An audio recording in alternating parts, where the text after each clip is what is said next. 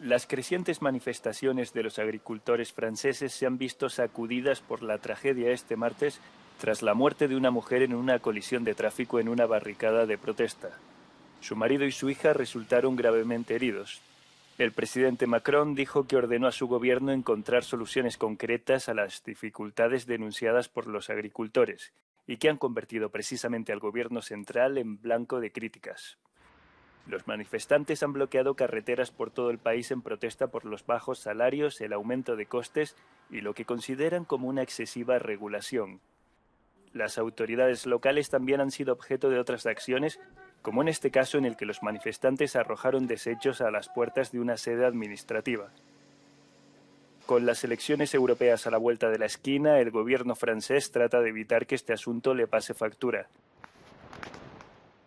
Los trabajadores agrícolas en otros países europeos han organizado protestas similares en los últimos días y se espera que sus preocupaciones supongan un tema central cuando toque acudir a las urnas en junio.